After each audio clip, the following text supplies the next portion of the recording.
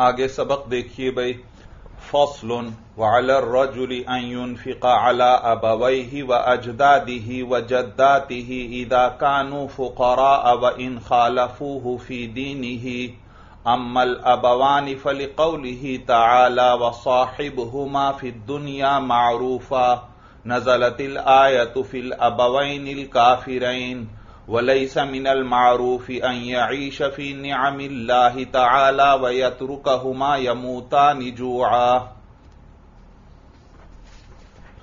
गुजश्ता सबक में आपने पढ़ा था कि इंदल अहनाफ जब कोई शख्स अपनी बीवी को तलाक दे दे तो इद्दत के दौरान का नफका भी खावन के जिम्मे और रिहाइश भी खावन के जिम्मे है चाहे ये तलाक रजई हो चाहे ये तलाक बाइन हो जबकि इमाम शाफी रहमहुल्ला फरमाते हैं कि मबतूता गैर हामिला यानी वो औरत जिसको खावन ने तलाक बाइन दी है या तीन तलाकें दी हैं, और वो गैर हामिला है तो उसका नफका इद्दत के दौरान खावन पर नहीं होगा। याद रखो, रिहाइश तो तमाम सूरतों के अंदर वो खावन के जिम्मे है। जब भी जुदाई आ जाए मियाँ बीवी के दरमियान तो रिहाइश तो तमाम अहवाल में खावन के जिम्मे है।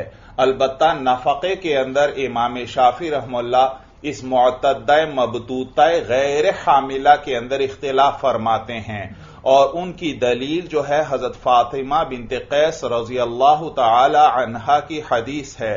वो फरमाती हैं कि मुझे मेरे खावंद ने तीन तलाकें दी और मेरे लिए नबी करीम सल्लल्लाहु अलैहि वसल्लम ने सुकना भी मुकर्र नहीं फरमाया और नफका भी मुकर्र नहीं फरमाया। और नीज इमाम शाफी रहमल्ला फरमाते हैं कि जब तलाक बाइन खावंद ने दे दी है या तीन तलाकें दे दी हैं तो खावंद की मिल्कियत ही खत्म हो गई।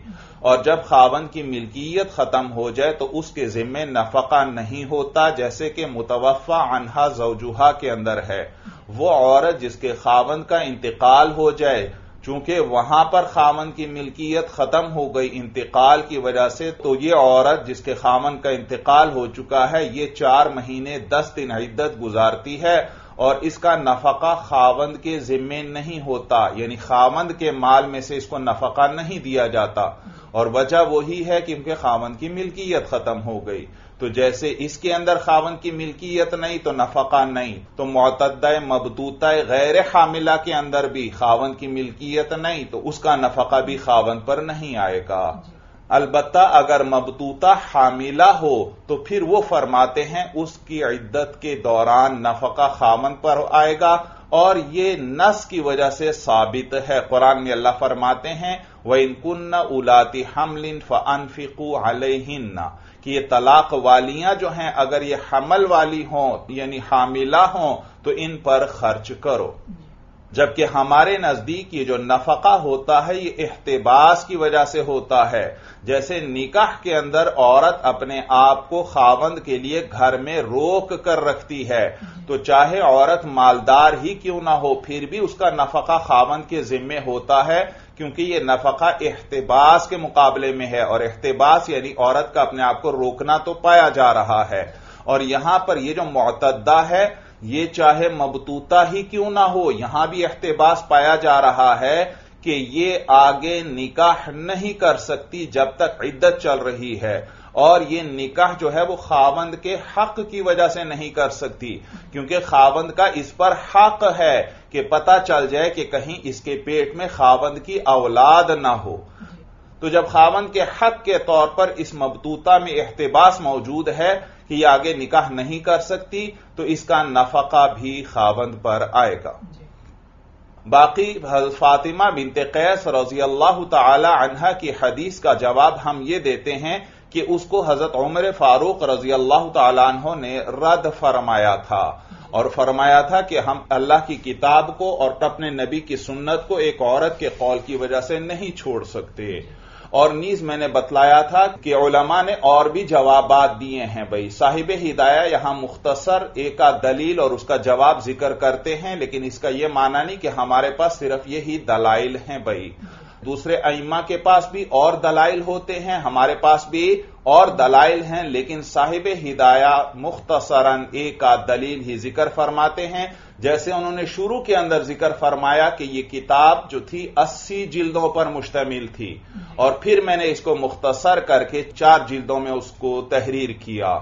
तो लिहाजा यहाँ वो मुख्तसर बात करते हैं। तो चुनाचे और उलमा जवाब देते हैं कि हजूर सलाम ने हज़रत फातिमा बिनते कैस के लिए सुकना इसलिए मुकर्र नहीं फरमाया।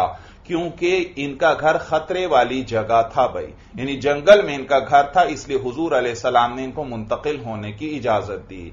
और जबकि बाज रिवायात में आता है कि इनकी ज़ुबान बहुत सख्त थी, इसलिए हुजूर सलाम ने मुंतकिल होने की इजाज़त दी। और जबकि बाज रिवायात में आता है कि इन्होंने खुद कहा था कि मुझे अपने खावन से खतरा है, अगरचे वो मुझे तीन तलाकें दे चुका है, लेकिन फिर भी मुझे उससे खतरा है तो हुजूर सलाम ने मुंतकिल होने की इजाज़त दी। तो इसलिए हुजूर ने उनके लिए सुकना मुकर्र नहीं फरमाया।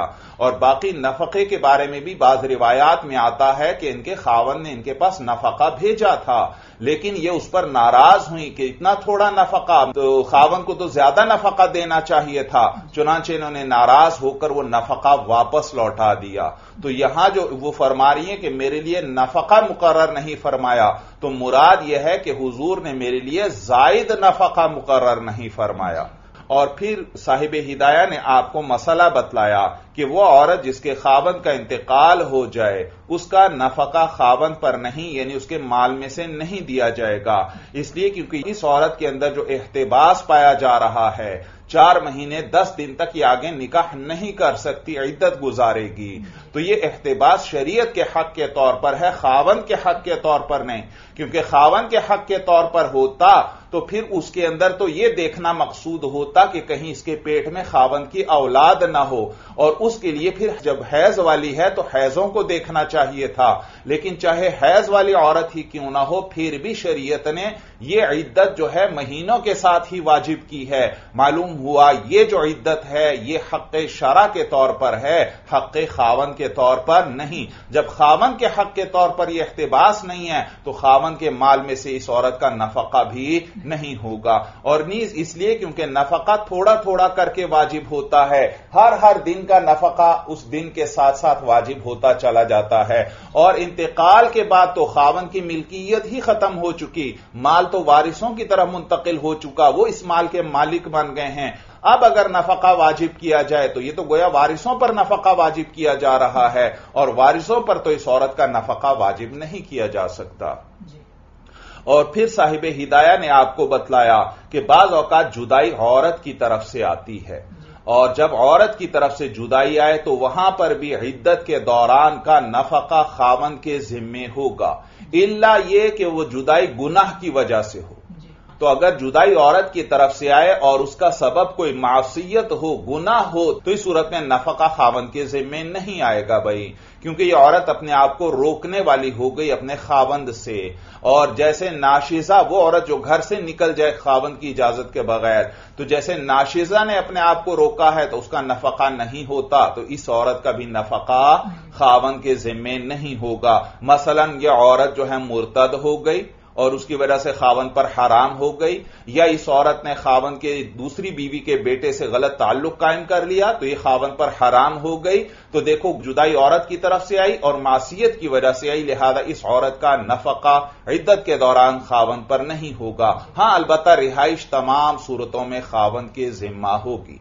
जबकि इसके मुकाबले में अगर अपने हक की वजह से औरत की जुदाई आती है, मसलन खियार बुलूख की वजह से, या खियार अतक की वजह से, या आदम कफात की वजह से अलिया इसकी जुदाई करवा दें। तो इन तमाम सूरतों में ये जो औरत ने अपने नफ्स को रोका है खावन से यह बतौर हक के रोका है।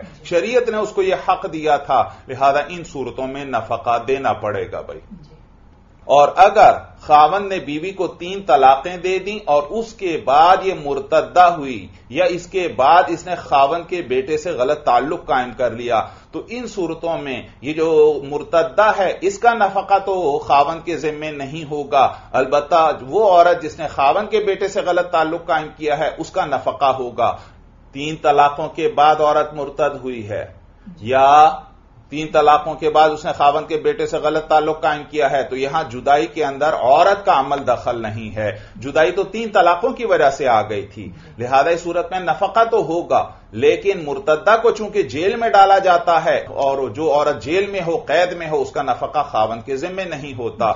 जबकि वो औरत जिसने तीन तलाकों के बाद खावन के बेटे से गलत ताल्लुक कायम किया है, उसे तो जेल में नहीं डाला जाएगा। लिहाजा उसका नफका खावन के जिम्मा होगा। और मैंने आपको बतलाया था कि अगर यह मुर्तदा को भी जेल में नहीं डाला जाता तो इसका नफका भी खावन ही के जिम्मे होगा इद्दत के दौरान। उसके बाद साहिब हिदाया ने आपको मसला बतलाया कि नाबालिग औलाद का जो नफका होता है वो बाप के जिम्मे होता है। उसमें कोई और रिश्तेदार साथ शरीक नहीं होता। जैसे कि बीवी के नफके में खावन के साथ कोई शरीक नहीं होता। और दलील ज़िक्र की थी वाल मौलूदी लहू रिस्क हुन्ना कि वो शख्स जिसके लिए बच्चे को जन्म दिया गया है, उस पर इन औरतों का नफका है। यानी उन बच्चों की माओ का नफका है। तो जब बच्चे की वजह से माओ का नफका वाजिब किया जा रहा है तो बच्चे का नफका बतरीके औला वाजिब होगा बाप पर। और मैंने बतलाया था कि जब भी मुश्तक पर कोई हुक्म लगाया जाए तो वहाँ उस हुक्म की इल्लत वो मुश्तक मिनहू होता है। अकरमतुल आलिमा। मैंने आलिम का इकराम किया तो यहाँ मैंने इकराम का हुक्म लगाया आलिम पर तो यह मालूम हुआ इसकी इल्लत इस अल आलिम का मुश्तक मिनहू यानी इलम है।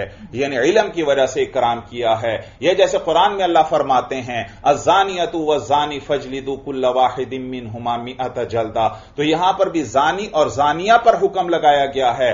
और जानी और जानिया, ये तो मुश्तक के सीगे हैं। मालूम हुआ यहाँ इस हुक्म की इल्लत जिना है। ये जो सौ कोड़े लगाने का हुक्म दिया जा रहा है, उसकी इल्लत जिना है। यह इसी तरह कुरान में अल्लाह फरमाते हैं असारिक व सारिकत फक्त हुमा कि चोरी करने वाला मर्द और चोरी करने वाली औरत जो है, इनके हाथ काट दो। तो यहाँ पर भी सारिक और सारिका, ये मुश्तक के सीगे हैं, और इन पर हाथ काटने का हुक्म लगाया जा रहा है। और मुश्तक पर जब कोई हुक्म लगाया जाए तो उसकी इल्लत मुश्तक मिनहू होता है। मालूम हो, ये चोरी जो है, ये इल्लत है इनके हाथ काटने की। तो यहाँ पर भी अल्लाह फरमा रहे हैं वह अलल मौलूद लहू रिस्क बाप को मौलूद लहू के साथ ज़िक्र किया गया। होना तो यूँ चाहिए था वालल अब रिस्क होना बाप पर इनका औरतों का रिजक है। लेकिन कुरान में मुश्तक यानी मौलूद को ज़िक्र किया गया वालल मौलूद लहू। तो जब मुश्तक पर हुक्म लगाया जाए तो उसकी इल्लत मुश्तक मिनहू होता है। मालूम हो ये जो औलाद है ये सबब है इन औरतों की यानी इन बच्चों की माओ के रिजक की। और फिर साहिब हिदाया ने आपको यह भी बतलाया कि अगर वो मौलूद लहू जो है, वो नाबालिग है और दूध पीता बच्चा है तो माँ पर दूध पिलाना कजा अन वाजिब नहीं। यानी माँ अगर दूध पिलाने से इनकार कर दे तो काजी भी जबरन उस पर दूध पिलाने को वाजिब नहीं कर सकता। इसलिए क्योंकि ये माँ है, इसकी शफकत सबसे ज़्यादा है, फिर भी ये बच्चे को दूध नहीं पिला रही। मालूम है कोई उजर है भाई। तो लिहाजा इस पर काजी भी जबरन दूध पिलाने को वाजिब नहीं कर सकता।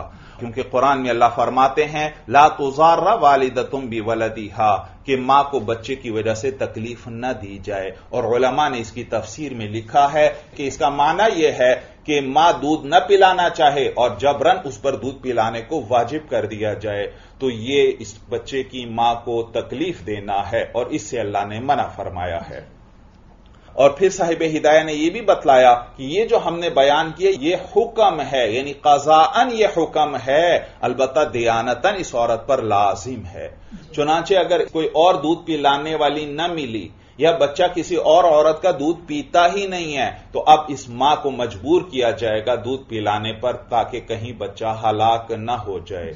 फिर साहिब हिदाया ने यह भी बतलाया कि जब माँ बच्चे को दूध न पिलाए तो बच्चे के लिए दूध पिलाने वाली का इंतज़ाम करना यह बाप के जिम्मे है। और उस औरत को जो उजरत देगा बाप यह बच्चे के नफके के दर्जे में है। और यह बाप पर लाजिम है भाई। और साहिब हिदाया ने यह भी बतलाया कि अगर अपनी बीवी अपने बच्चे को दूध पिलाने पर उजरत का मुतालबा करे या अपनी मुतदा उजरत का मुतालबा करे तो उनके लिए यह जायज़ नहीं क्योंकि यह शरान दूध पिलाना इन्हीं पर वाजिब है। जब ये इन्हीं की ज़िम्मेदारी है इन्हीं पर वाजिब है तो फिर उसकी उजरत ये कैसे ले सकती हैं? और फिर बतलाया था कि ये जो मुतदा है वो भी उजरत नहीं ले सकती तो इसमें मुतदा रजैया जो है उसके बारे में तो एक ही रिवायत आई है हमारे अइमा से। कि मुतदा रजैया उजरत नहीं ले सकती क्योंकि निकाह पूरे तौर पर मौजूद है। और मुतदा बाइना के अंदर दो रिवायतें हैं। एक रिवायत के मुताबिक जो है कि ये उजरत ले सकती है। इसको उजरत पर बाप रख सकता है मोतद बाइना को क्योंकि निकाह पूरे तौर पर टूट चुका है। और जबकि दूसरी रिवायत है कि मुतदा बाइना ये भी उजरत नहीं ले सकती क्योंकि निकाह पूरे तौर पर टूटा नहीं। अभी भी कुछ अहकाम निकाह के बाकी हैं इद्दत के दौरान। हाँ जब इद्दत गुजर जाए फिर उसके बाद यह औरत उजरत ले सकती है। इसको यह शख्स उजरत पर रख सकता है, क्योंकि यह अब अजनबिया बन चुकी है भाई। और अगर खावन का एक बीवी से बच्चा है और दूसरी बीवी को वो उजरत पर रखता है तो उसको उजरत पर रख सकता है दूध पिलाने के लिए, क्योंकि ये उस बच्चे की माँ नहीं है। इस पर बच्चे को दूध पिलाना वाजिब नहीं। जब वाजिब नहीं है तो इस सूरत में ये दूध पिलाने की उजरत ले सकती है। और साहिब हिदाय ने यह भी बतलाया कि अगर खावंद और बीवी में जुदाई आ गई और खावंद किसी और औरत को उजरत पर रखता है बच्चे को दूध पिलाने के लिए, जबकि माँ भी राज़ी है उतनी ही उजरत में दूध पिलाने पर, या माँ बगैर उजरत के दूध पिलाने पर राज़ी है, लेकिन खावंद कहते हैं, नहीं, मैं माँ के हवाले बच्चे को नहीं करूँगा, दूसरी औरत को ही रखूँगा तो इस सूरत में खावंद का यह अमल दुरुस्त नहीं है। बच्चे की माँ ज़्यादा हकदार है, उसकी बच्चे पर शफकत ज़्यादा है भाई तो बच्चे को उसी के हवाले करना चाहिए। और हाँ, अगर उसने ज़्यादा उजरत का मुतालबा किया उस माँ ने तो इसको फिर खावन पर लाजिम नहीं किया जा सकता, क्योंकि इसमें खावन को तकलीफ़ देना है। और कुरान में जैसे माँ को बच्चे की वजह से तकलीफ़ देने से मना किया गया है, इसी तरह बच्चे की वजह से बाप को भी तकलीफ़ देने से मना किया गया है भाई। और फिर यह भी बतलाया साहिब हिदाया ने कि नाबालिग औलाद का नफाका बाप पर वाजिब है, अगरचे दीन मुख्तलिफ़ ही क्यों ना हो।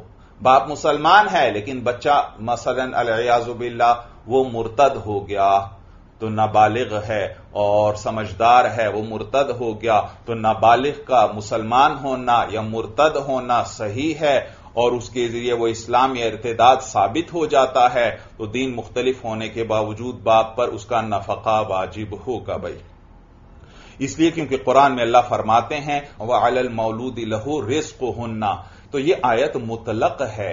इसके अंदर यह ज़िक्र नहीं है कि बाप और बच्चे का एक ही दीन हो तो फिर नफका होगा। दीन अलग अलग हो तो नफका नहीं होगा। यह आयत मुतलक है। और अलमुतलक यजरी अला इतलाकी ही तो लिहाजा तमाम सूरतों में नाबालिग का नफका बाप के जिम्मे होगा भाई।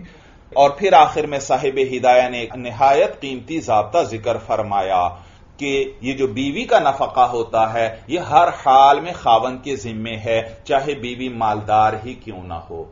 जबकि अपनी नाबालिग औलाद का या अपने माँ बाप का जो नफका इंसान पर आता है, वो हाजत और ज़रूरत की वजह से आता है कि माँ बाप और नाबालिग मोहताज हैं। तो जब वो मोहताज हों, फिर उनका नफका आएगा इस आदमी पर। और अगर उनका अपना माल मौजूद है तो उनके अपने माल में से ही नफका होगा। किसी और पर उनका नफका वाजिब नहीं होगा। बात समझ में आ गई। अब आइए आज के सबक पर।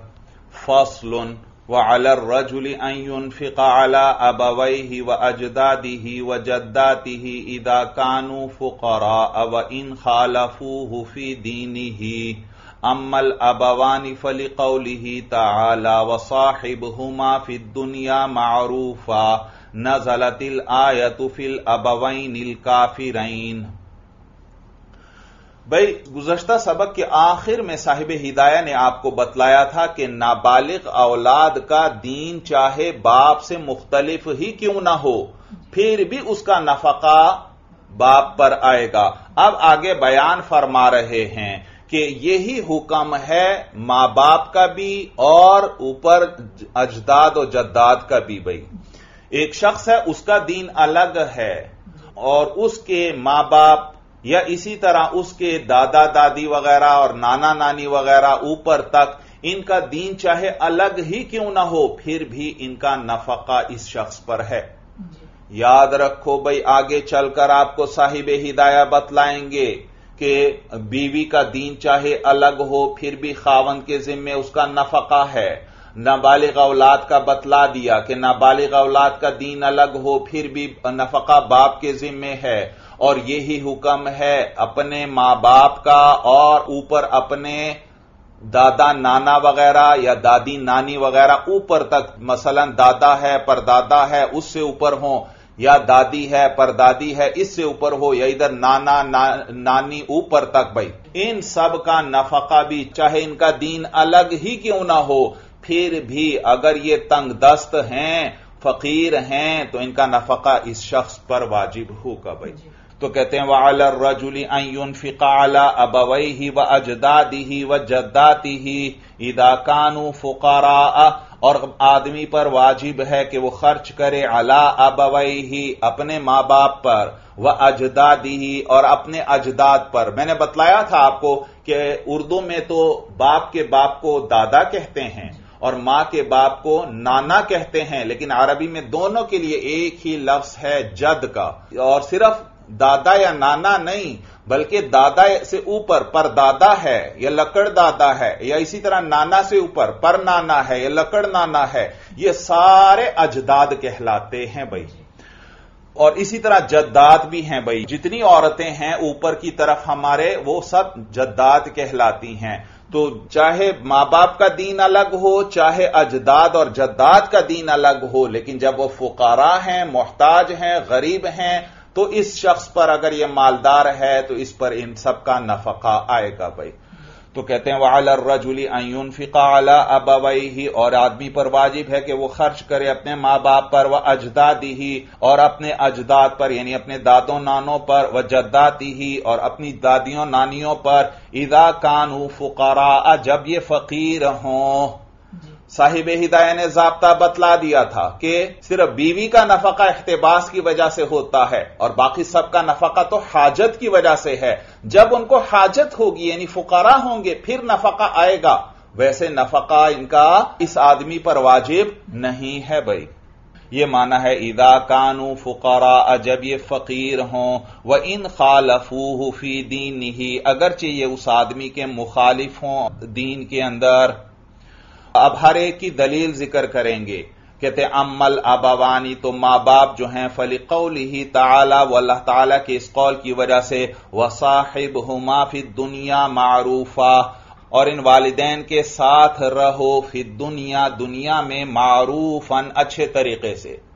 और तुम वालिदैन के साथ दुनिया में अच्छे तरीके से रहो। नजलतिल आयत फिल अबवैनिल काफिरैनी। ये आयत नाजिल हुई काफिर माँ बाप के बारे में। भाई, ये आयत नाजिल हुई हज़रत साद इब्ने अबी वकास रज़ी अल्लाह तहु के बारे में। ये इस्लाम ले आए थे और वालदेन मुसलमान नहीं थे और वो मुखालिफत कर रहे थे इनकी हत्या कि इनकी माँ ने खाना पीना ही छोड़ दिया। कि जब तक तुम ये नए दीन को नहीं छोड़ोगे, अपने पुराने दीन पर नहीं आओगे, मैं कुछ भी नहीं खाऊँगी।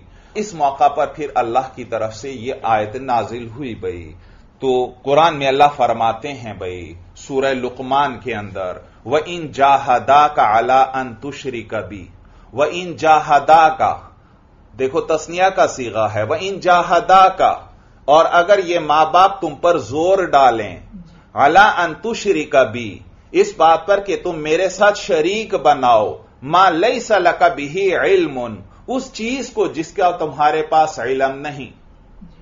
अगर माँ बाप तुम पर ज़ोर डालें कि तुम मेरा शरीक बनाओ, उस चीज़ का जिसका तुम्हारे पास इलम नहीं। इलम से मुराद है दलील भाई। यानी एक चीज़ को तुम मेरा शरीक बनाओ और तुम्हारे पास उसकी कोई दलील मौजूद नहीं है। फला तो माँ तो इनकी इताअत न करना। व साहिब हो माफ़ी दुनिया मारूफा और इनके साथ दुनिया में अच्छे तरीके से रहो। तो अल्लाह ताला ने हर मकाम पर वालदेन की इतात और फर्माबरदारी का हुक्म दिया है लेकिन जब वो गुनाह का हुक्म दे रहे हों वो शिरक का हुक्म दे रहे हों तो अल्लाह फरमाते हैं इनकी इतात न करो। लेकिन इतात न करने का यह माना नहीं है कि इनको तकलीफ़ दो। इनको अगर इनकार भी करना है, इनकी बात नहीं भी माननी तो अच्छे तरीके से कि इनको तकलीफ़ ना हो। तो माँ मजबूर कर रही थी हसाद इब्ने अबी वक्स रज़ी अल्लाह तु को कि ये जो तुम इस्लाम लेकर आए हो, इस दीन को तुम्हें छोड़ना पड़ेगा, वरना मैं अपनी जान दे दूँगी और उन्होंने खाना पीना तर्क कर दिया कि मैं अपनी जान दे दूँगी अगर तुमने ये दीन ना छोड़ा। लेकिन अल्लाह ने हुक्म दिया कि नहीं, जब ये गुनाह का हुक्म दें, शिर का हुक्म दें तो इनका हुक्म मानने की कोई ज़रूरत नहीं है। लेकिन फिर भी इनकी बात रद्द भी करो। तो अच्छे तरीके से रद्द करो कि इनको तकलीफ़ ना हो भाई। बात समझ में आ गई। तो कहते हैं अमल अबावानी तो माँ बाप जो हैं, फली कौली ही ताला, व अल्लाह ताला के इस कौल की वजह से, व साहिब हुमा फिर दुनिया मारूफा, और माँ बाप के साथ रहो दुनिया में अच्छे तरीके से। नजलतिल आयत फिल अबवैनिल काफिरैनी, ये आयत नाजिल हुई काफिर माँ बाप के बारे में। तो ये आयत काफिर माँ बाप के बारे में नाजिल हुई। वलई समिनल मारूफी आई शफीन और साहिब हिदायत फरमाते हैं कि अल्लाह ने वालदेन के साथ अच्छा सलूक करने का हुक्म दिया। चाहे मुशरिक ही क्यों ना हो, काफिर ही क्यों ना हो, फिर भी अल्लाह ने उनके साथ अच्छा सलूक करने का हुक्म दिया। और बेटा खुद मालदार है और माँ बाप को भूखा मरने के लिए छोड़ दे, ये नेकी नहीं है। मालूम हुआ कि माँ बाप काफिर ही क्यों ना हो, फिर भी नफका बेटे को देना पड़ेगा। अगर वो फकीर हैं तो कहते हैं वलई समिनल मारूफी, और ये बात नेकी में से नहीं है। आई शफी न्यामिल्ला ताला, के बेटा खुद तो अल्लाह की नियामतों में ज़िंदगी गुजारे। वया तुरुका हुमा या मुतानी जुआ, और इन दोनों को छोड़ दे भूख से मरने के लिए। वह अमल अजदाद वल जद्दातु। अब बाकी अजदाद और जद्दात भाई। भाई, ऊपर मतन में आया था कि माँ बाप का नफका भी बेटे के जिम्मे, चाहे काफिर ही क्यों ना हो, जब ये फुकारा हो। और अजदाद और जद्दाद का नफका भी औलाद के जिम्मे, चाहे ये काफिर ही क्यों ना हो तो अब उसकी दलील ज़िक्र कर रहे हैं। कहते हैं, वह अमल अजदाद वल जद्दात और बाकी अजदाद और जद्दाद जो हैं, फली अनहुम मिनल आबा इवल उम्महाती। तो इसलिए क्योंकि ये भी आबा और उम्महात में से हैं। भाई, याद रखो ऊपर की तरफ़ जो हमारे अजदाद हैं दादा परदादा ऊपर तक या नाना पर नाना ऊपर तक। तो याद रखो ये सब हमारे आबा हैं। ये हमारे बाप के दर्जे में हैं। अगरचे दरमियान में वासिता आ रहा है। जो बाप है वो तो बगैर वास्ते के बाप है। लेकिन ये जो दादा पर दादा हैं या नाना पर नाना हैं, ये भी हमारे बाप ही हैं, आबा में से ही हैं, अगरचे दरमियान में वासिता आ रहा है। और इसी तरह जो दादियाँ और नानियाँ हैं, ये सब भी हमारी माए हैं, अगरचे दरमियान में वासिता आ रहा है। तो जब माँ बाप का नफका औलाद पर है तो ऊपर जो अजदाद और जद्दात हैं ये भी आबा और उम्माहात में से हैं तो इनका नफका भी इसी शख्स पर आएगा जब ये फकीर हों भाई। तो कहते वह अमल अजदाद वल जद्दात और बाकी अजदाद और जद्दाद जो हैं फली अन मिनल आबा इवल उम्माहाती। तो इसलिए क्योंकि ये भी आबा और उम्माहात में से हैं वलिहादा यकूमुल जद्द मकाम अल अबी इंदा अदमी ही और इसीलिए दादा जो है वो बाप का कायम मकाम हो जाता है, इंदा अदमी ही जब बाप न हो। भाई, आप पढ़ चुके हैं कि बाप को सगीर और सगीरा पर विलायत हासिल है, जहाँ चाहे इनका निकाह करवा सकता है। और बाप अगर ना हो तो यही विलायत किसको हासिल है? दादा को हासिल है। तो देखो, बाप के न होने की सूरत में दादा उसका कायम मकाम बन गया इस विलायत में। या इसी तरह वरासत के मसले में कि अगर बाप ना हो तो फिर दादा उसके कायम मकाम हो जाता है। वही हिस्सा अब दादा को मिलेगा जो पहले बाप को मिल रहा था भाई। और नीज इसी तरह बाप को नाबालिग औलाद के माल में तसरुफ का हक होता है। और रिश्तेदारों को तो नाबालिग के माल में तसरुफ का हक नहीं है, लेकिन बाप को नाबालिग औलाद के माल में तसरुफ का हक है और अगर बाप ना हो तो यही तसरुफ का हक फिर दादा को मिल जाता है। दादा नाबालिग औलाद के माल में तसरुफ कर सकता है। तो कहते हैं, वलिहादा यकूमुल जद्दू मकाम अल अब इंदा अदम ही और इसीलिए जो दादा है, वो बाप के कायम मकाम हो जाता है जब बाप न हो। वली अन अनहुम सब बबूल इहिया सब युसबिबु तस्बीब का माना है, सबब बनना, ज़रिया बनना। और इहया का माना है ज़िंदगी देना, किसी को ज़िंदा कर देना। वली अनहुम सब बबूल ही और नीज इसलिए क्योंकि ये अजदाद जद्दात जो हैं, ये अजदाद और जद्दात जो हैं सब बबूल ही ये सबब और ज़रिया बने हैं इस आदमी को ज़िंदगी देने का। इस आदमी को ज़िंदगी देने का सबब बने हैं। इसलिए क्योंकि ये ऊपर वाले अजदाद और जद्दात न होती तो इसके माँ बाप भी ना होते और इसके माँ बाप ना होते तो ये शख्स भी ना होता भाई। मालूम हुआ अजदाद और जद्दात वो इस शख्स की ज़िंदगी का सबब बने हैं। तो जब ये ज़िंदगी का सबब बने हैं तो अब इस औलाद पर भी वाजिब है कि वो इनको ज़िंदगी दे।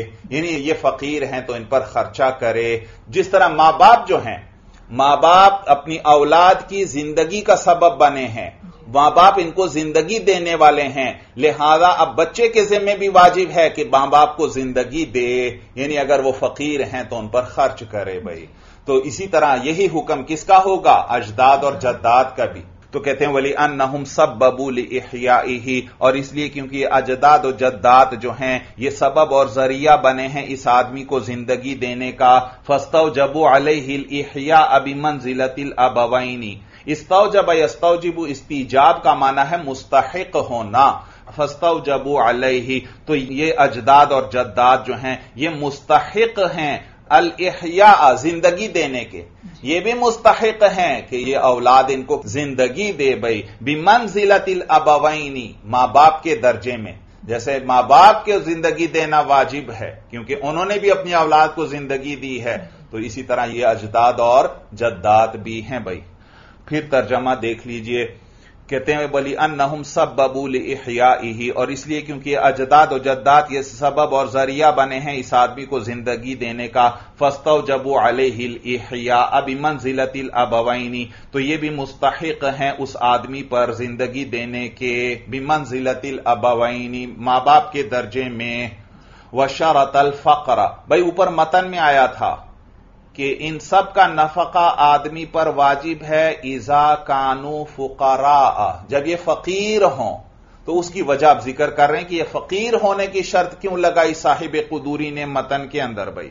तो कहते हैं, वशरत अल फ़करा और साहिब कुदूरी ने फ़कीर होने की शर्त लगाई। लिअनहु लौका नजाम मालिन। इसलिए क्योंकि बाप अगर माल वाला है, फ़ईजाब नफ़ती ही फ़ी माली ही औला। तो नफ़े को वाजिब करना उसके अपने माल में औला, ये ज़्यादा लायक है। मिन ईजा बिहा फ़ी माली गैरी ही गैर के माल में उस नफ़े को वाजिब करने के मुकाबले में। एक तो यह है कि बाप का नफका उसी के अपने माल में वाजिब किया जाए, और एक ये सूरत है कि बाप का नफका औलाद के माल में वाजिब किया जाए। तो जब बाप का अपना माल मौजूद है तो उसके अपने माल में से नफका वाजिब करना यह बेहतर है, इसके मुकाबले में कि यह नफका औलाद के माल में वाजिब किया जाए। तो कहते हैं लिया नहू लौका नजाम मालिन इसलिए क्योंकि बाप जो है, अगर वो माल वाला है, फ़ईजाब नफ़ती ही फ़ी माली ही तो बाप के नफ़े को उसके अपने माल में से वाजिब करना। औला ये बेहतर है, मीन ईजा बिहा फ़ी माली गैरी ही गैर के माल में इसको वाजिब करने के मुकाबले में। वला युम नौजाली कब इख्तिलाफी दीन, लिमा तलौना। वला युम नाउजालिका और इसको मना नहीं किया जाएगा यानी यह ममनू नहीं होगा। बिख्तिलाफ दीन ही दीन के मुख्तलिफ़ होने की वजह से। ये नफके का वाजिब होना यह ममनू नहीं होगा दीन के मुख्तलिफ़ होने की वजह से। लिमा तलौना उस आयत की वजह से जो हमने तिलावत की वही। साहिब होमा फिर दुनिया मारूफा। वहाँ तो देखो मुशरक वालदेन ही का ज़िक्र चल रहा है और उनके बारे में भी अल्लाह फरमा रहे हैं कि उनके साथ अच्छा सुलूक करो।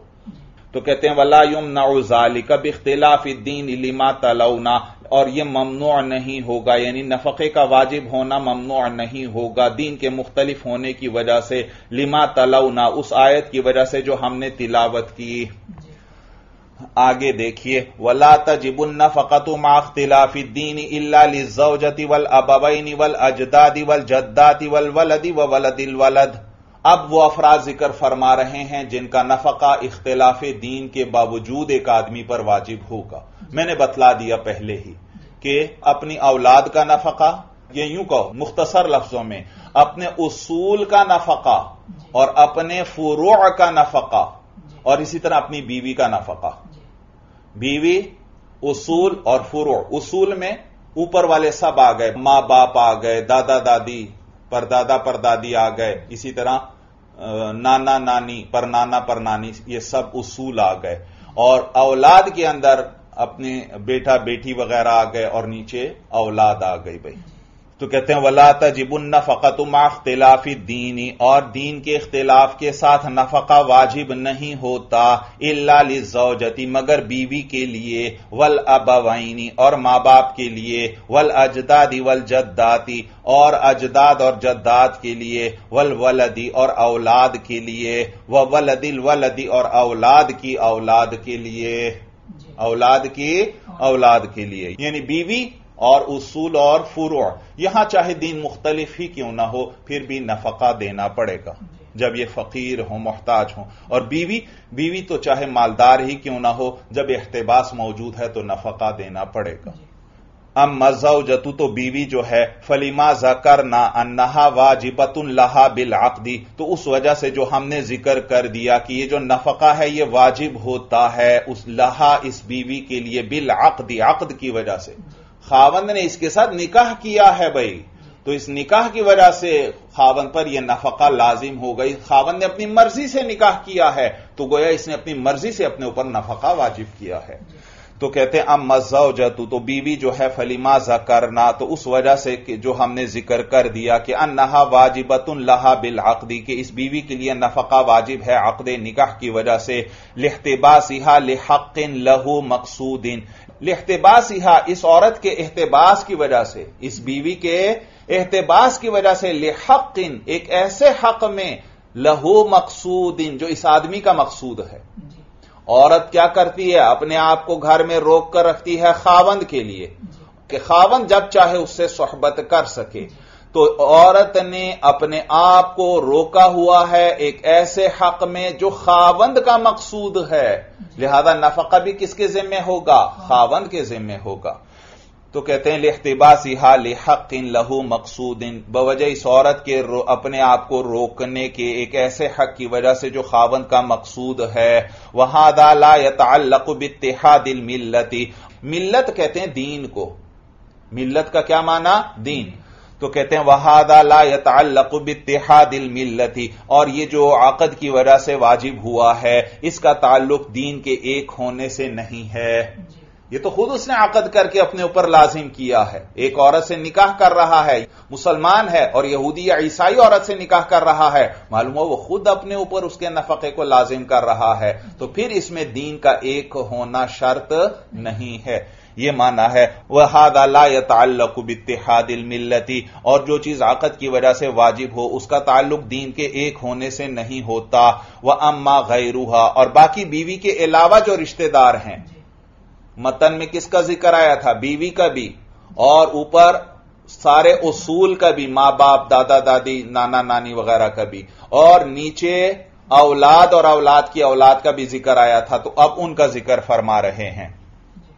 कहते हैं, वह अम्मा गैरूहा। और बाकी बीवी के अलावा जो और रिश्तेदार हैं, यानी जो उसूल और फुरू हैं फली अन जुजयत साबित इसलिए क्योंकि जुज होना साबित है। ये सब एक दूसरे के जुज हैं। ये सब क्या हैं? एक दूसरे के जुज हैं। किस तरह? बेटा बाप का जुज होता है। बेटा बाप। का जुज है। जब बेटा बाप का जुज है तो बाप बेटे का जुज हुआ। जब बेटा बाप। का जुज है तो बाप बेटे का जूस हुआ भाई। दोनों एक दूसरे के जूस हैं भाई। तो इन सब में कौन सा रिश्ता है? ये बेटा बाप दादा पर दादा वगैरह। इन सब में जुजियत वाला रिश्ता है, ये सब एक दूसरे के जुज हैं भाई। कहते हैं, वह अम्मा गैरूहा और बीबी के अलावा जो उसूल और फुरू हैं फली अनल जुजयत साबितन तो उनका नफका इसलिए होगा क्योंकि जुज होना साबित है। वह जुज उलमर इफी माना नफसी ही और आदमी का जुज जो होता है वह उसकी अपनी जात के दर्जे में होता है। किस दर्जे में है? अपनी जात। और इंसान चाहे काफिर ही क्यों ना हो फिर भी उसका नफका अपनी ही जात पर आता है। तो जिस तरह कुफर अपने नफके के अंदर मुअसर नहीं चाहे आदमी काफिर ही क्यों ना हो नफका किस पर है? अपनी ही जात पर है। तो इसी तरह उसका जुज काफिर ही क्यों ना हो फिर भी उसका नफका इसी आदमी पर होगा क्योंकि वो इसी का जुज है भाई। तो कहते हैं, वह जुज उल मर इफी माना नफ्स ही और आदमी का जो जुज होता है, वो उसकी अपनी जात के दर्जे में होता है, अपनी जात के माना में होता है। फकमा लायम तन न फ़कत नफ्स ही भी कुफरी ही लायम तन न फ़कत जुस ही तो जिस तरह आदमी का अपना नफका ममनु नहीं होता भी कुफरी ही अपने कुफर की वजह से तो लायम तन न फ़कत जुस ही तो इसी तरह इसके जुस का नफका भी ममनु नहीं होगा। बात समझ में आ गई तर्जमा फिर देख लीजिए फकमा लायम तनियो नफकत नफसी ही बिकुफरी ही तो जिस तरह अपनी जात का नफका वो ममनु नहीं होता अपने कुफर की वजह से तो लायम तनियो नफकत जुज ही तो इसी तरह अपने जुज का नफका भी मुमतन नहीं होगा कुफर की वजह से। इल्ला अन्नहुम इदा कानु हरबीन ला तजिबु नफकतुहुम अलल मुस्लिमी व इन कानु मुस्तमीन भाई ये जो मसला साहिब हिदाया ने ज़िक्र फरमाया कि अपनी बीवी या अपने माँ बाप और अजदाद या अपनी औलाद और औलाद की औलाद अगर ये फकीर हैं तो इनका नफका इसी आदमी पर होगा चाहे दीन मुख्तलिफ़ ही क्यों ना हो। याद रखो यह हुक्म जिम्मियों के बारे में है। आप जानते हैं, वो गैर मुस्लिम जब ममलिकत इस्लामिया के अंदर रहते हैं और सालाना जिजिया अदा करते हैं, सालाना टैक्स अदा करते हैं, इनको जिम्मी कहते हैं। और जो दारुल हर्ब में रहते हैं, यानी ऐसे मुल्क में जिनके साथ हम हालत जंग में हैं भाई, उनको हरबी कहा जाता है। और फिर कभी उन हरबियों में से कोई शख्स अमान लेकर हमारे वतन में आता है, उसको मुस्तमिन कहते हैं, यानी अमान लेने वाला, अमान तलब करने वाला। या हम में से कोई शख्स अमान लेकर उनके मुल्क में जाता है तो वो भी मुस्तमिन है भाई। तो याद रखो, ये जो हुक्म बयान फरमाया कि दीन मुख्तलिफ़ हो, फिर भी इन अफराद का नफका आदमी पर आएगा, ये जिम्मियों के बारे में है। अगर ये रिश्तेदार हरबी हैं आदमी के माँ बाप दारुल हर्ब में रहते हैं और यह मुसलमान होकर दारुल इस्लाम में आ गया। या इस आदमी की औलाद और औलाद की औलाद दारुल हर्ब में रहती है और यह मुसलमान होकर दारुल इस्लाम में आ गया और इसके पास माल आ गया और वो सारे फुकारा हैं। तो अब इस पर उनका नफका वाजिब नहीं होगा। वो जो इसके रिश्तेदार दारुल हर्ब में रहते हैं माँ बाप हैं या दादा दादी नाना नानी वगैरह हैं या इसकी औलाद है या औलाद की औलाद है लेकिन रहते कहाँ हैं? दारुल हर्ब में फिर इनका नफका इस आदमी पर नहीं है भाई। वजह यह कि ये लोग हमारे साथ दीन के मामले में जंग करने वाले हैं। और जो लोग हमारे साथ दीन के मामले में जंग करने वाले हों उनका नफका इंसान पर वाजिब नहीं होता। और इसके माँ बाप और औलाद, चाहे वो जंग करें या ना करें, लेकिन हैं तो उन्हीं के साथ भाई। उन्हीं की जानब में हैं, गोया उन्हीं के मददगार हैं। तो लिहाजा इनका नफका भी अब इंसान पर वाजिब नहीं होगा। बात समझ में आ गई। तो कहते हैं इल्ला अन्नहुम इजा कानू हरबी यीना मगर ये कि जब ये वाले रिश्तेदार जो हैं ये हरबी हों तो ला तजिबु नफकत हम अलल मुस्लिमी तो इनका नफका मुसलमान पर वाजिब नहीं होगा। व इन कानू मुस्तामीना अगरचे ये मुस्तामिन हो यानी अमान लेकर यहाँ आ जाएँ।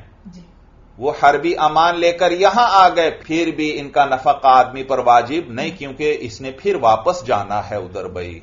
तो ये गोया उन्हीं के मुआविन हैं भाई। अब दलील ज़िक्र कर रहे हैं कि इनका नफका क्यों नहीं होगा जब ये हरबी हो। कहते हैं ली अन्ना नुहीना अनिल बिर्री। इसलिए क्योंकि हमें मना किया गया है। ली अन्ना नुहीना, हमें मना किया गया है, अनिल बिर्री, नेकी करने से। फ़ी हक मई कातिलुना फ़ी दीनी, उनके हक में जो हमसे दीन के मामले में लड़ाई करते हैं।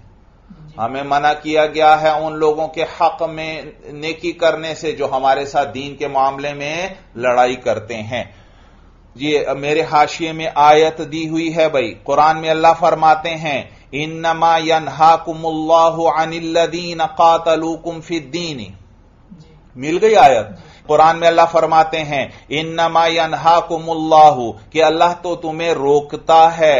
अनिल्लदीन उन्हीं लोगों से कातलू कुमफी दीनी जिन्होंने तुमसे दीन में लड़ाई की। व अखरजू कुमिन दियारी कुम और तुम्हें निकाला तुम्हारे घरों से। व जाहरू अला इखराजिकुम और जिन्होंने मदद की तुम्हारे निकालने में। जिन्होंने तुम्हें निकाला और निकालने में मदद की उनसे अल्लाह मना करता है। अन तवल्लहुम कि तुम उनसे दोस्ती करो। यह मफूल आ गया।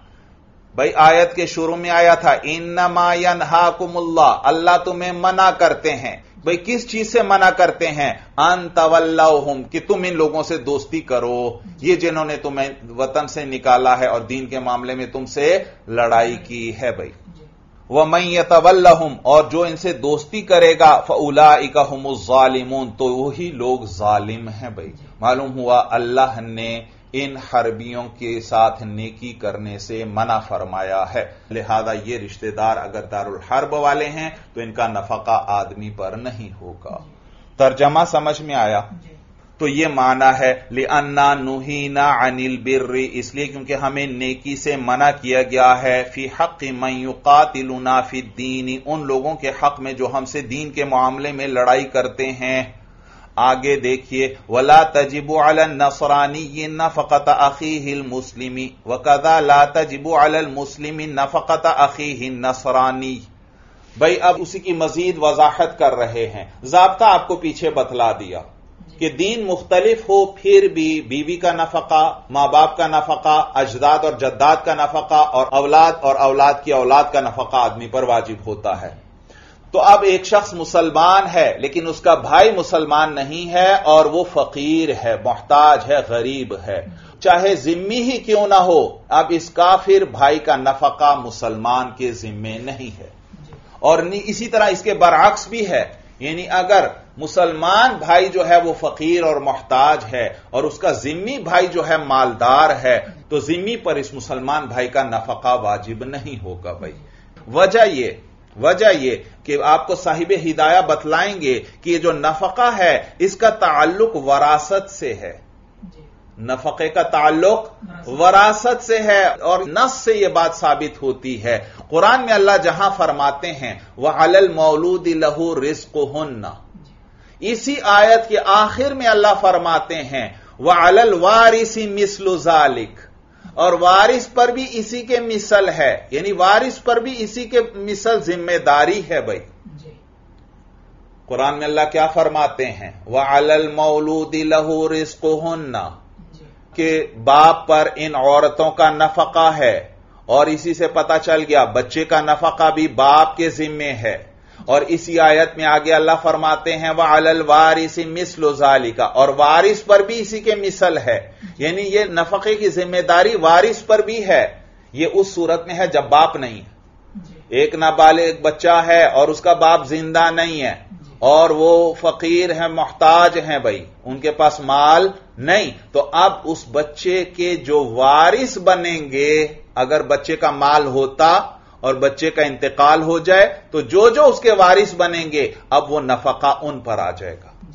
बात समझ में आ गई तो यह माना है वालल वारिसी मिसलुजालिका और वारिस पर भी इसी के बराबर है इसी के मिसल है यानी बाप की तरह वारिसों पर भी नफका वाजिब है भाई। और यहाँ पर भी देख लीजिए हुक्म लगाया जा रहा है मुश्तक पर अलल वारिसी। वारिस इसमें फ़ाइल है तो इसमें फ़ाइल पर हुक्म लगाया जा रहा है कि उसकी भी इसी तरह ज़िम्मेदारी है। मालूम हुआ इसकी इल्लत मुश्तक मिनहू है यानी वरासत है। तो मालूम हुआ वरासत में जिसका जितना हक बनता है उसी के बकदर उस शख्स पर नफका भी वाजिब होगा भाई। और नीज आयत के शुरू में था वह अलल मौलूद लहू रेस को होना और यहाँ पर आया वह अलल वारिसी मिसलो जालिका आपने पढ़ा है इशारा होता है बईद के लिए। और वारिस पर भी इसी के मिसल है। भाई किसके मिसल? ये जालिका के ज़रिए इशारा है आयत के शुरू की तरफ़। यानी वो जो दूर पीछे बात गुजर गई थी उसकी तरफ़ इशारा है कि वारिस पर भी इसी के मिसल है। यानी अगर बाप नहीं है तो फिर वारिसों को अपने हिस्से के बकदर बच्चे पर खर्च करना पड़ेगा। तो मालूम हुआ नफके का ताल्लुक वरासत से है। जब एक शख्स दूसरे का वारिस बन रहा है तो उस पर नफका भी आएगा भाई। लेकिन अगर एक भाई मुसलमान है और दूसरा काफिर है तो दोनों का दीन ही अलग अलग है। ये तो दोनों एक दूसरे के वारिस ही नहीं बन सकते। जब इख्तलाफ दीन की वजह से वारिस नहीं बन सकते तो लिहाजा आप एक दूसरे पर नफका भी वाजिब नहीं होगा। तो कहते हैं, वला तजिब नसरानी ये न फ़कत अखी हिल मुस्लिमी, नसरानी कहते हैं ईसाई को भाई। वला तजिब नसरानी ये और ईसाई पर वाजिब नहीं है। न फ़कत अखी हिल मुस्लिमी, अपने मुसलमान भाई का नफका। वकदा ला तजिब मुस्लिमी, न फ़कत अखी हिल नसरानी, ये और इसी तरह मुसलमान पर अपने ईसाई भाई का नफका वाजिब नहीं है। ले न फ़कत मुतल बिल इर्सी, इसलिए क्योंकि नफका जो है, इसका ताल्लुक वरास विरासत से है, बिन नस नस की वजह से, कि कुरान में अल्लाह क्या फरमाते हैं? वह अलल वारिसी मिसलु जालिका के वारिस पर भी इसी के मिसल ज़िम्मेदारी है भाई। बेखिलाफ इंदल मिल की बखिलाफ आज़ादी के इंदल मिल की मिल्कियत के वक्त। भाई देखिए, साहिब हिदाया ने आपको मसला बतलाया कि जब करीबी रिश्तेदार का दीन अलग हो, मसलन भाई या बहन का दीन अलग है तो उनका नफका एक दूसरे पर वाजिब नहीं होगा। जबकि इसके मुकाबले में अगर कोई शख्स अपने किसी करीबी महरम रिश्तेदार का मालिक बनता है तो जिस लम्हे में मालिक बनेगा उससे अगले लम्हे में ही वो आज़ाद हो जाएगा। आप पढ़ चुके हैं हदीस के अंदर आता है मन मलका जार रहीम महरम मिन हो। कि जो शख्स अपने करीबी महरम रिश्तेदार का मालिक बना अतका ही तो उस पर आज़ाद हो जाएगा। आज़ाद करना नहीं पड़ेगा फ़ौरन खुद ब खुद आज़ाद हो जाएगा। एक शख्स है उसका भाई गुलाम है। यह भी गुलाम था लेकिन मसलन इसको आका ने आज़ाद कर दिया था और यह फिर मालदार हो गया। इसका भाई भी गुलाम है यह अपने भाई को खरीदता है। जिस लम्हे के अंदर खरीदेगा अगले ही लम्हे के अंदर वो आज़ाद हो जाएगा खुद ब खुद भाई। क्योंकि हदीस में क्या आता है? मन मलका जारा महरम मिन हो जो अपने करीबी महरम रिश्तेदार का मालिक बनता है आता का ही तो वो उस पर आज़ाद हो जाता है। या बाद रिवायात में आता है फहुआ हुर्रुन तो वो आज़ाद है भाई। तो यहाँ पर दो कैदे हैं। मन मलका जारहिम यानी रिश्तेदार भी हो, और महरम मिन हो और उसका महरम भी हो भाई। तो जब भी करीबी रिश्तेदार भी हो और महरम भी हो जैसे ही इंसान उसका मालिक बनेगा वो फ़ौरन आज़ाद हो जाएगा। तो बात यह चल रही थी साहिब हिदाया ने बतलाया कि भाइयों का नफका एक दूसरे पर नहीं आएगा अगर इनका दीन अलग है। लेकिन अगर दीन अलग ही क्यों ना हो फिर भी एक भाई दूसरे को खरीदेगा तो वो फ़ौरन आज़ाद हो जाएगा। वो फ़ौरन आज़ाद हो जाएगा। यहाँ इख्तिलाफ दीन को नहीं देखा जाता। वो फ़ौरन क्या हो जाएगा? आज़ाद। एक मुसलमान अपने काफिर गुलाम भाई को खरीदता है। तो दीन बेशक अलग है, लेकिन खरीदते साथ ही वो आज़ाद हो जाएगा। तो अब ये दोनों में फ़र्क क्यों किया गया?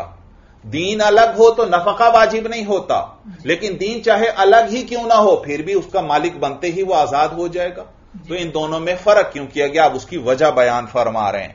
फिर देखिए तर्जमा, कहते हैं अन नफ़कतम मुतम बिल इर्सी बिन नसी इसलिए क्योंकि नफके का ताल्लुक वरासत से होता है, नस की वजह से। बेखिलाफिल इत्क मिल की बखिलाफ आज़ाद होने के मालिक होते वक्त। मालिक होते वक्त, आज़ाद होने के। लिए अन्न मुतम बिल कराबती वल महरमीयती इसलिए क्योंकि इसका ताल्लुक बिल कराबती रिश्तेदारी से है वल महरमीयती और महरम होने से है बिल हदीसी हदीस की वजह से। किसकी वजह से? हदीस। में आया है मन मलका जारहमी महरमी मिन हो ही इसके अंदर कोई दीन के इख्तिलाफ को ज़िक्र नहीं किया गया। बस दो चीज़ें होनी चाहिए। क्या? कराबत और महरम होना चाहिए। यहाँ इख्तलाफ दीन ज़िक्र नहीं है। जबकि नफका जो है, उसका ताल्लुक वरासत से है भाई। वारिस बन रहा है तो नफका भी आएगा। वारिस नहीं बन रहा, दीन मुख्तलिफ़ है तो नफका भी नहीं आएगा। तो कहते हैं, बेखिलाफ इंदल मिल की बखिलाफ मिल्कियत के वक्त आज़ाद होना लिअन हो मुतम बिल कराबती वल महरमीत बिल हदीसी इसलिए क्योंकि इसका ताल्लुक रिश्तेदारी और महरम होने से है हदीस की वजह से वली अनल कराबत मूजिबतुल्लती तवज्जो से यह जगह समझना भाई, ये मुश्किल जगह है वली अनल कराबत मूजिबतुल्लती और इसलिए क्योंकि कराबत वो वाजिब करती है लिसलती एहसान को। मुजिबा का माना चाहे वाजिब करने के कर लें, चाहे साबित करने के कर लें। वली अनल कराबत मोजिबतुन लिसलती और इसलिए क्योंकि कराबत जो है, यानी रिश्तेदारी जो है, मोजिबतुन लिसलती सिला कहते हैं एहसान और नेकी को। रिश्तेदारी जो है, वो एहसान को वाजिब करती है। रिश्तेदार के साथ एहसान करना चाहिए, नेकी करनी चाहिए।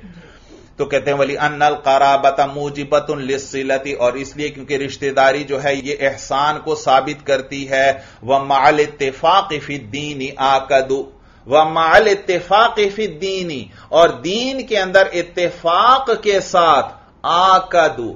ये और ज़्यादा ताकीद करती है एहसान की। रिश्तेदारी किसको साबित करती है? एहसान को।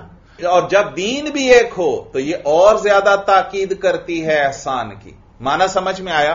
तो कहते हैं वह माल इतफाक दीनी आकदू और दीन में इतफाक के साथ ये और ज़्यादा ताकीद करती है, यानी एहसान की और ज़्यादा ताकीद करती है। वह दवामुल मिल की यमीनी आला फिल कती मिन हिरमान नफकती अब देखिए, यहाँ दो चीज़ें आ गई। रिश्तेदारी एहसान को वाजिब करती है। और जब दीन एक हो तो फिर इसमें ताकीद भी आ जाती है। यानी फिर यह इल्लत मुक्दा बन जाती है। भाई रिश्तेदार के साथ क्या करना चाहिए? नेक सुलूक। और अगर दीन भी एक हो तो इसमें ताकीद आ गई। तो मालूम हुआ एहसान की इल्लत क्या है? रिश्तेदारी। और दीन एक हो तो इसमें और ताकीद आ जाती है। मालूम हुआ यह इल्लत मुक्दा है। सिर्फ़ रिश्तेदारी यह इल्लत है। एहसान की। किसकी? ज़ुबान से दोहराए भाई मुश्किल जगह है। रिश्तेदारी ये क्या है? इल्लत है। किस चीज़ की इल्लत है? एहसान की। और अगर दीन भी एक हो तो फिर यह इल्लत है मुक्दा है। इसमें ताकीद आ गई है। किस चीज़ की? एहसान की। तो सिर्फ़ रिश्तेदारी ये एहसान की इल्लत है। और दीन भी एक हो तो फिर यह इल्लत है मुक्दा बन गई एहसान के लिए। और ताकीद आ गई इसके अंदर। और इसी तरह याद रखो अगर कोई शख्स अपने करीबी रिश्तेदार को नफका नहीं देता तो इस सूरत के अंदर कतार रहमी है ये। ये तो रिश्ते को तोड़ रहा है। करीबी रिश्तेदार भी है और वो शख्स मोहताज भी है और आपके पास माल भी है और आप फिर भी उसकी मदद नहीं कर रहे। ये तो आप कतः रहमी कर रहे हैं। तवज्जो है, मालूम हुआ, मालदार होने के बावजूद फकीर रिश्तेदार की मदद न करना यह कतः रहमी है भाई। इसी तरह अगर कोई शख्स अपने करीबी महरम रिश्तेदार का मालिक बनता है वो फ़ौरन उस पर आज़ाद हो जाता है। लेकिन अगर वो आज़ाद ना हो उस पर इसी तरह इसकी मिल्कियत बाकी रखी जाए तो इसमें भी कत रहमी है। रिश्तेदार के साथ तो नेक सुलूक करने का हुक्म है और आप उसको अपना ममलूक बनाकर अपना गुलाम और बांदी बनाकर रखना चाहते हैं। करीबी रिश्तेदार भी है और महरम भी है और आप उसको ममलूक बना के रखना चाहते हैं तो इसमें भी कतः रहमी है। लेकिन इसमें आला दर्जे की कतः रहमी है यानी बहुत ज़्यादा दर्जे वाली कतः रहमी है भाई। तो नफका ना दो उसमें भी कतः रहमी। लेकिन ममलूक बनाकर रखो उसमें आला दर्जे की कता रहमी है। फिर दोहराएँ भाई लफ्जों को। किताब के अल्फाज दोहरा लें। दवा में मिलके यमीन। आपने क्या पढ़ा? कि कोई शख्स जैसे ही अपने करीबी महरम रिश्तेदार का मालिक बनता है वो फ़ौरन आज़ाद हो जाता है। लेकिन अगर वो आज़ाद न होता तो देखो मिलके यमीन में दवाम आ जाता। यानी यू को मिल्कियत में दवाम आ जाता। तो दवा में मिल्कियत में भी कत रहमी है। और हिरमान नफका में भी कत रहमी है। हिरमान का माना महरूम रखना। हिरमान नफका में भी कता रहमी है, लेकिन दवा में मिल के अंदर आला दर्जे की कता रहमी है, ज़्यादा कता रहमी है कि आप अपने करीबी महरम को अपना ममलूक बनाकर रखते हैं। तो दवा में मिल्क में आला दर्जे की कता रहमी है और हिरमान नफका में अदना दर्जे की कता रहमी है। तो लिहाजा जो आला दर्जे की कता रहमी है, वहाँ सिर्फ़ इल्लत का पाया जाना काफ़ी है। इल्लत आएगी तो वह खत्म हो जाएगी। और इल्लत क्या थी? हाँ कराबत, रिश्तेदारी। जब कोई किसी का करीबी रिश्तेदार है यह रिश्तेदारी मूजिबतुन लिस्सिलती, ये किसको साबित करती है? एहसान को साबित करती है। तो लिहाजा, जब एक ऐसी चीज़ आ रही है जो कत रहमी के अंदर आला दर्जे वाली है, यानी मिलके यमीन आ रही है तो वहाँ नफ्स इल्लत भी काफ़ी है। बस करीबी रिश्तेदारी मौजूद है तो वो मिल्कियत खत्म हो जाएगी।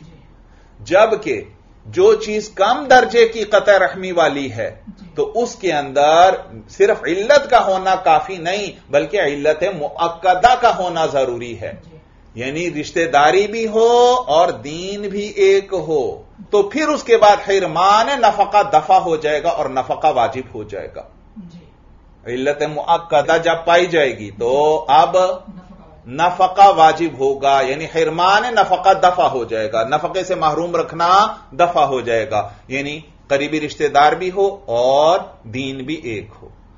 बात समझ में आ गई, फिर दोहरा लें। फिर दोहरा लें। रिश्तेदारी जो है, ये सिला को वाजिब करती है। यानी ये इल्लत है एहसान की। करीबी रिश्तेदारी।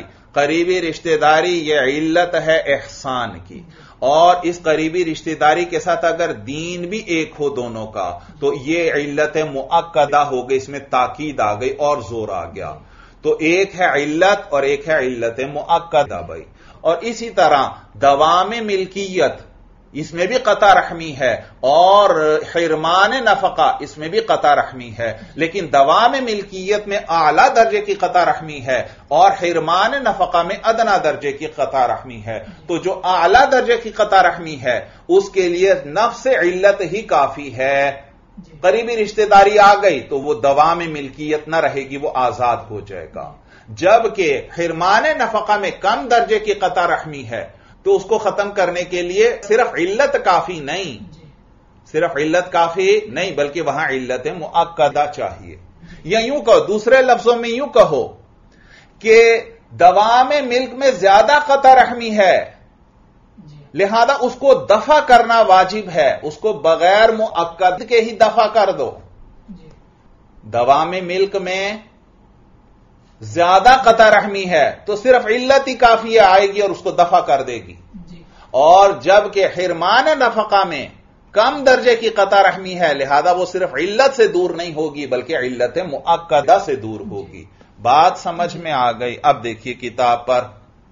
तो कहते हैं वली अनल कराबत मुजिबतुन लिसलती और इसलिए क्योंकि रिश्तेदारी जो है ये एहसान को वाजिब करती है वह माल इतफाक फ़ी दीन आकदू और दीन में इतफाक के साथ ये और ज़्यादा ताकीद करती है यानी एहसान की। वह दवा मिल के यमीनी और मिल के यमीन का दायमी रहना। आला फिल आती ये ज़्यादा है फिल आती कत रहमी में। दवा में मिल्क ये आला है किसमें? रहमी में रिश्ता तोड़ने में। मिन हिरमान नफकती हिरमान नफका के मुकाबले में। फातबर नाफिल आला तो हमने एतबार किया आला के अंदर असल इल्लती असल इल्लत का। जो। आला दर्जे की कता रहमी है उसको दूर करना ज़रूरी है तो नफ्स इल्लत भी आ जाए तो इसको दूर कर दो दवा में मिल्क खत्म कर दो कि वो आज़ाद हो जाएगा। फ़ातबर नाफिल आला असल इल्लती तो हमने एतबार किया आला के अंदर असल इल्लत का आला क्या चीज़ है दवा में मिल्क ये कतर रहमी में आला है और असल इल्लत क्या है सिर्फ़ करीबी रिश्तेदारी तो फातबर नाफिल आला तो हमने आला जो है यानी दवा में मिल्क में एतबार कर लिया असल इल्लती असल इल्लत यानी करीबी रिश्तेदारी का वफिल अदना और अदना जो है यानी जो हिरमान नफका है हिरमान नफका जो कता रहमी में अदना है, उसके अंदर हमने एतबार किया अल्लत मुक्दता इल्लत मुक्दा का, के कराबत भी हो और दीन भी एक हो। फलिहाद अफ्तारका तो इसलिए ये दोनों जुदा हो गए। ये दोनों जुदा हो गए। एतराज़ ये होता था ना, कि जब दीन अलग हो तो आप नफका वाजिब नहीं करते। और दीन अलग अलग हो, फिर भी आप कहते हैं कि करीबी महरम रिश्तेदार आज़ाद हो जाएगा तो दोनों में फ़र्क बयान फरमा दिया, साहिब हिदाय ने। यह माना है, फलिहाद अख्तारका तो इसलिए ये दोनों जुदा हो गए, यानी दोनों में फ़र्क आ गया। नफके और आज़ादी में फ़र्क आ गया कि नफके के अंदर इल्लत मुक्दा होना ज़रूरी है, फिर ही नफका वाजिब होगा। और आज़ादी जो है, उसके अंदर नफ्स इल्लत भी काफ़ी है। नफ्स इल्लत यानी करीबी रिश्तेदारी मौजूद है तो आज़ादी साबित हो जाएगी भाई। आगे देखिए, वला युशारिकुल वलदा, और औलाद के साथ शरीक नहीं होगा। फ़ी नफकती अबवई ही अपने वालदेन के नफके में आहदुन कोई एक। अपने वालदेन के नफके में औलाद के साथ और कोई रिश्तेदार शरीक नहीं होगा। एक आदमी है वो मोहताज है फकीर है। और उसका भाई भी मालदार और उसकी औलाद भी मालदार। तो औलाद पे नफका आएगा भाई पर नफका नहीं आएगा।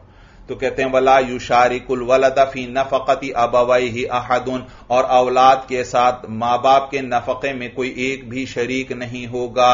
लिअन लहुमा तावीलन फ़ी मालिल वलदी बिन नफ्सी लिअन लहुमा तावीलन। इसलिए क्योंकि ये जो माँ बाप हैं इनके लिए तावील की गई है। फ़ी मालिल वलदी औलाद के माल में बिन नस्सी नस के ज़रिए। नस के ज़रिए औलाद के माल में तावील की गई है माँ बाप के लिए। वो जो हदीस के अंदर आता है भाई एक सहाबी ने शिकायत फरमाई थी अपने बेटे की। तो हुजूर सलाम ने उनके बेटे को बुलवाया और कहा अंता व मालू कली अबी का तू और तेरा माल दोनों तेरे बाप के हैं भाई। तो देखो मालूम हुआ हदीस के अंदर तावील की गई है इनके लिए। भाई याद रखो फुकहा फरमाते हैं बेटे का माल अलग होता है और बाप का माल अलग होता है। लेकिन इस हदीस के अंदर हुजूर सलाम फरमा रहे हैं अंत व मालू कली अबी का तू और तेरा माल तेरे बाप के हैं। तो देखो हकीकत में अगरचे बेटे का माल अलग है लेकिन बाकायदा नस के अंदर हुजूर सलाम ने तावील करते हुए बेटे को और उसके माल को बाप का ममलूक करार दे दिया। तवज्जो है तो हकीकत के अंदर बेटे का माल अलग है और बाप का माल अलग है लेकिन नस में बेटे के माल को भी बाप का माल करार दिया गया है। यानी नस में तावील की गई है। बात समझ में आ गई? तो जब औलाद के माल में तावील मौजूद है कि वो बाप का है तो लिहाजा जब औलाद का माल मौजूद है तो गोया बाप का माल मौजूद है। क्योंकि औलाद का माल किसका है? बाप का है तो गोया बाप मालदार है। और जब बाप मालदार है तो फिर किसी और पर उसका नफका नहीं आएगा इसी माल में से नफका लेगा। दलील समझ में आ रही है नफका क्यों आता है? फकीर और मोहताज होने की वजह से। और बेटे के माल को औलाद के माल को बाप का माल करार दिया गया है। तो जब औलाद के पास माल मौजूद है बाप के पास बेशक माल नहीं है लेकिन औलाद के पास तो माल मौजूद है और औलाद का माल भी किसका माल है? बाप का माल है तो गोया बाप मालदार है। जब बाप मालदार है तो उसका अपना माल मौजूद है तो उसमें से अपने नफके का वो बंदोबस्त करेगा। किसी और रिश्तेदार पर वो नफका नहीं आएगा। दलील समझ में आ रही है? तो कहते हैं अन लहुमा तावील अनफी मालिल वलदी बिन नफसी. इसलिए क्योंकि वालदेन जो हैं उनके लिए तावील की गई है अवलाद के माल में बिन नफसी नस के ज़रिए। वला तावील लहुमा फ़ी माली गैरी ही और वालदेन के लिए कोई तावील नहीं है औलाद के माल के अलावा में। औलाद के माल के बारे में तो तावील की गई और हदीस में क्या आया? अंत व मालू का अबी का लेकिन किसी और के माल के बारे में यह तावील नहीं, नहीं की गई भाई। यहाँ इश्काल होता है इश्काल होता है कि अगर औलाद का माल बाप का माल है तो फिर तो बाप जैसे चाहे उसका माल खर्च करे भाई। लेकिन आप कह रहे हैं अगर बाप मोहताज होगा गरीब है तो फिर वो नफका बेटे के माल में से ले सकता है। हालाँकि ये जो हदीस है अंतवा मालूक अली अबी का, कि तू और तेरा माल दोनों तेरे बाप के हैं यह हदीस तो क्या तकाजा कर रही है? कि बाप को बेटे के माल का मालिक होना चाहिए। तो उसका जवाब देते हैं, उलमा फरमाते हैं, कि और हदीस के अंदर आता है, हज़रत आयशा रज़ी अल्लाह तहा फरमाती हैं, हुजूर सलाम से रिवायत करते हुए, कि हुजूर सलाम ने फरमाया इन औलादकुम ही बतुन लकुम कि तुम्हारी औलाद तुम्हारे लिए हीबा है। यह अल्लाह की तरफ़ से तुम्हारे लिए तोहफा है और आता है। यहबुली मैया शाह इनासा व यहबुली मैया शाह दुकूरा। अल्लाह जिसको चाहते हैं मुअन्नस औलाद आता फरमाते हैं और जिसको चाहते हैं मुजक्कर औलाद आता फरमाते हैं। वह अमवालुहुम लकुम। और वो जो औलाद हैं, उनके अमवाल तुम्हारे लिए हैं। इजह तज तुम इलेहा। व अमवालुहुम लकुम। और तुम्हारी औलाद के माल तुम्हारे लिए हैं। ईजा जब इख्ताज तुम जब तुम मोहताज हो इलेहा उसके।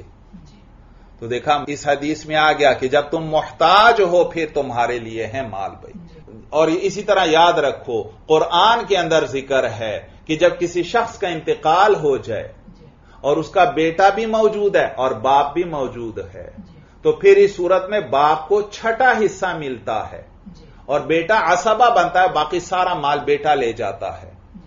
अगर बाप बेटे के माल का मालिक था हकीकत में मालिक था तो फिर तो सारा माल बाप को मिलना चाहिए था बेटे को तो कुछ भी नहीं मिलना चाहिए। एक आदमी का इंतकाल हुआ उसका बेटा भी ज़िंदा है और उसका बाप भी ज़िंदा है ये दोनों इसके वारिस हैं। तो कुरान में अल्लाह ताला फरमाते हैं कि बाप को छठा हिस्सा मिलेगा।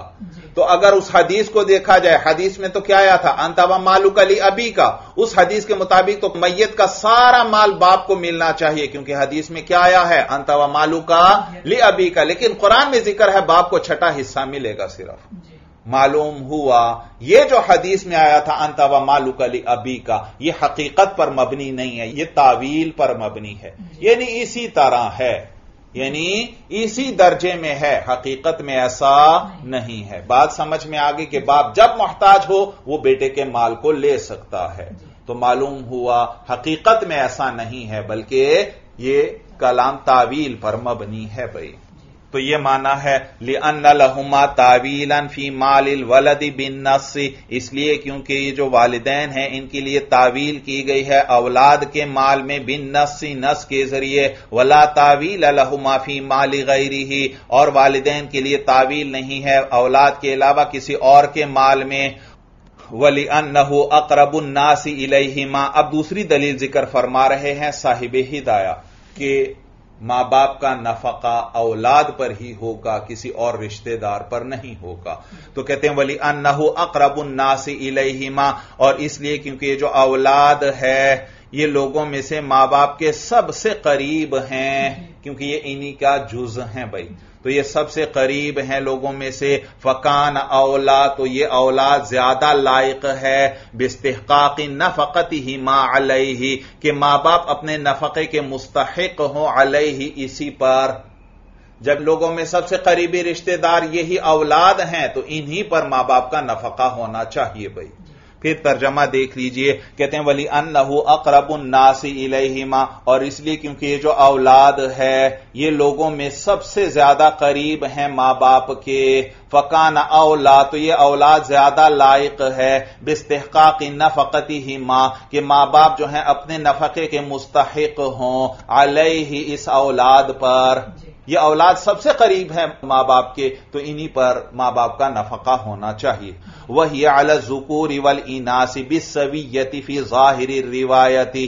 वहिया और ये जो नफका है, अल जुकूर वल इनासी, मुजक्कर और मुअन्नस पर बिसवीयती बराबरी के साथ है, फ़ी ज़ाहिर रिवायती, ज़ाहिर रिवायत में। ज़ाहिर रिवायत में तो यह है कि माँ बाप का नफका औलाद पर बराबरी के साथ होगा, चाहे औलाद मुजक्कर हो, चाहे मुन्नस मसलन मसलन माँ बाप गरीब हैं, और उनका एक बेटा है और एक बेटी है। एक बेटा है और एक बेटी। अब अगर वरासत के एतबार से देखा जाए तो बेटे को बेटी से दुगना माल मिलेगा। लिजकर मिसल हजिल सैन के मुजक्कर के लिए दो मुअन्नस के बराबर हिस्सा है भाई। तो अगर यह माँ बाप का इंतकाल होता है तो कुल माल के तीन हिस्से करेंगे, दो हिस्से बेटे को मिलेंगे और एक हिस्सा बेटी को। तो लिहाजा इमाम साहिब से एक रिवायत है जो इमाम सरखसी ने ज़िक्र फरमाई है। वो फरमाते हैं कि यहाँ नफका भी उसी एतबार से आएगा। तवज्जो है, सूरत ये माँ बाप गरीब हैं और उनका एक बेटा भी है और एक बेटी भी है और दोनों मालदार हैं। तो इमाम सरखसी रहमुल्ला इमाम साहब से रिवायत नकल फरमाते हैं कि बेटे पर बेटी से दुगना नफका होगा। मसलन माँ बाप का एक दिन का खर्चा मसलन एक हज़ार रुपया है। तो इस एक हज़ार के तीन हिस्से करेंगे। दो हिस्से बेटे को अदा करने पड़ेंगे और एक हिस्सा बेटी को भाई। यानी वरासत के बकदर वरासत के बकदर। लेकिन ज़ाहिर रिवायत यह है ज़ाहिर रिवायत यह है कि दोनों पर यह नफका बराबरी के साथ आएगा भाई। यानी हज़ार में से 500 बेटे को देना पड़ेगा और 500 बेटी को देना पड़ेगा। यही बयान फरमा रहे हैं। कहते हैं वही आलजूकूर इवल इनासी। और यह नफका जो है मुजक्कर और मुन्नस औलाद पर बेसवीयती बराबरी के साथ है। फिर ज़ाहिर रिवायती ज़ाहिर रिवायत में वह हुआ सही और यही कौल सही है भाई। ये जो ज़ाहिर रिवायत में आया है, यही सही है। दूसरी रिवायत में इमाम सरक्सी ज़िक्र फरमाते हैं कि इमाम साहब फरमाते हैं कि बेटे और बेटी पर ये जो माँ बाप का नफका आएगा, ये वरासत के बकदर आएगा। और बेटे को बेटी के मुकाबले में वरासत में दुगना हिस्सा मिलता है, लिहाजा नफके के अंदर भी बेटे पर बेटी के मुकाबले में दुगना हिस्सा आएगा। लेकिन साहिब हिदायत फरमाते हैं कि ज़ाहिर रिवायत में जो आया, वह हुआ सही यही सही है। लेन माना यशमलहुमा। इसलिए क्योंकि यह माना, यानी यह इल्लत दोनों को शामिल है। ये जो हुजूर सलाम ने सहाबी से फरमाया था, अंत व मालुक अली अबी का मालूम हुआ औलाद का माल, बाप का माल है। ये दोनों को शामिल है, चाहे बेटा हो, चाहे बेटी हो। और नीज साहिब हिदाया ने वजह बतलाई कि ये जो औलाद होती है, ये तमाम लोगों से बढ़कर माँ बाप के करीब होती है, क्योंकि ये उसका जुज है। तो ये माना बेटी में भी है और बेटे में भी है। ये लोगों में सबसे ज़्यादा करीब है भाई। बेटा और बेटी दोनों बराबर हैं। इसलिए क्योंकि यह इल्लत दोनों को शामिल है। ये जो हदीस में तावील की गई और ये जो लोगों में सबसे ज़्यादा करीब हैं तो इसके अंदर बेटा और बेटी दोनों शामिल हैं। तो यूँ कहो कि जो साहिब हिदाया ने इल्लत बयान फरमाई, वो इल्लत दोनों को शामिल है। बेटे को भी और, बेटी को भी लिहाजा दोनों पर नफका, बराबरी के साथ आएगा। बात समझ में आ गई, हल हो गया। चलिए बस बेहादा हुआ मराम अल्लाह आलम भी हकीकत कलाम।